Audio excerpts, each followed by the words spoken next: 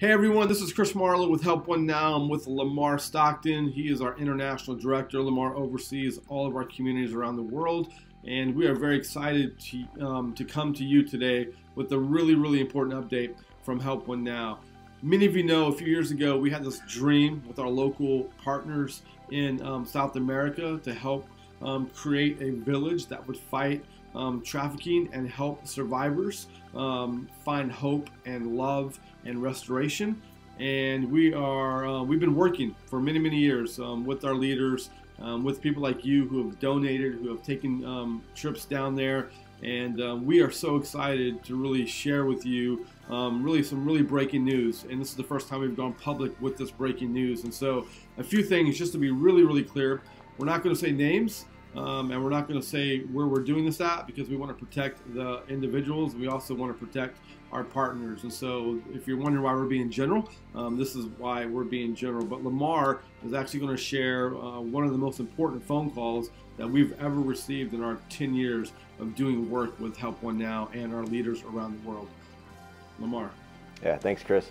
Uh, yeah, so Thursday, Thursday night, I got a call from from one of our leaders on the ground he said, I just need to let you know that we, uh, the government is bringing us a 14 year old girl.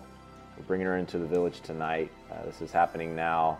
This is what we've worked towards. This is what we've prayed for. Um, it was it was a beautiful message and a sobering message at the same time.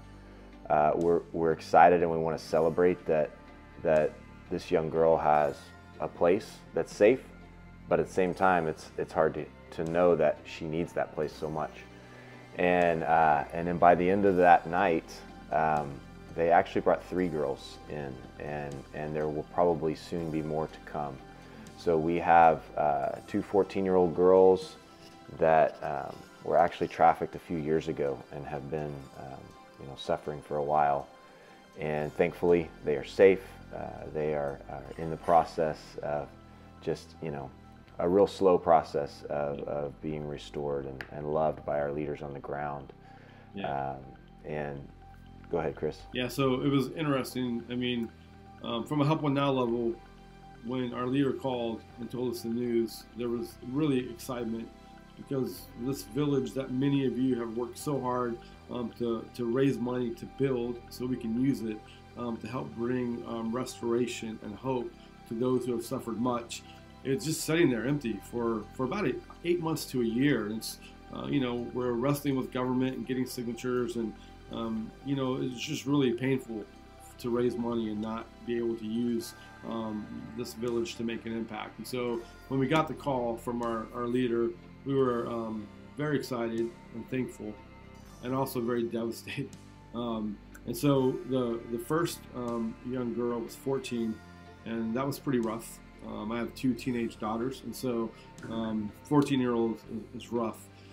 Then we found out we had a second 14 year old, as Lamar said, but then we found out we had an 11 year old who was rescued. And um, her story, and all of their stories are theirs to tell. So one of the things we're trying to do is help you understand what's going on and the evil that we're fighting, um, but also protect them and their dignity. So um, it is, um, you know, one of the realities is simply this: we found out that this trafficking ring um, is targeting 12 year olds, and they um, they basically bring them in um, forcefully into a community, and then um, they they put them in forced prostitution, and they make significant amounts of money off of the lives of these young kids. And so when we think about injustice and why the Help One Now community shows up to do good and to love people and to fight evil.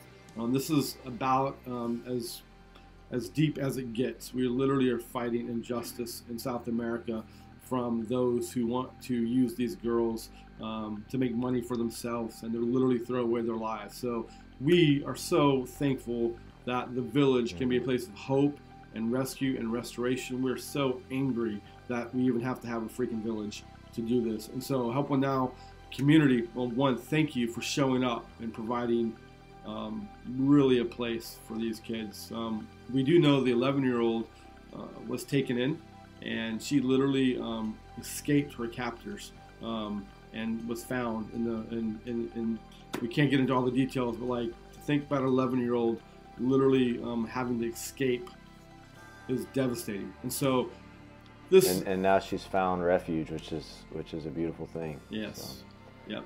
We are very, very uh, thankful that we can provide aftercare for the survivors. But we also understand that that's expensive. And so it's worth it. Every dollar's worth it. It doesn't matter if it's a billion dollars or a million. These are kids created in the image of God, and they deserve love and rescue and restoration. And we're going to show up to make sure they have that. So we have a donor who is giving $50,000 as matching funds. So your impact is going to be doubled um, this holiday season. So this is a time for you to step up and help these girls as you always do. And Lamar will kind of share some of the numbers. so twenty dollars will cover this holistic, deep care uh, for the for these survivors for one day. So with the matching funds, your one day turns into two days. One hundred and forty dollars will cover a week. Six hundred dollars will cover a month. And if you want to do a full year, uh, about seven thousand dollars, and and all of that will be matched, like Chris said, up to fifty thousand dollars. We really want to start this place uh, from a place of thriving, uh, so that we do not have to cut any corners at all uh, in care for these for these girls. Thank you, Lamar, for the numbers. Help One Now community. We love you. We thank you that you always show up to help people who are hurting and who are broken. And we will walk with these girls and many others down the road um, because of your generosity. And you literally create the foundation for us to be able to do the work in partnership with our brilliant leaders all over the world, and in this case, in South America. And so, thank you. Um, if you have any questions, please let us know. And um, once again, we were able to show up and help three kids begin to be restored and have a new life and a new hope. We love you. We appreciate you. Y'all have a great day together. We're making a difference, and together we're building a more beautiful world.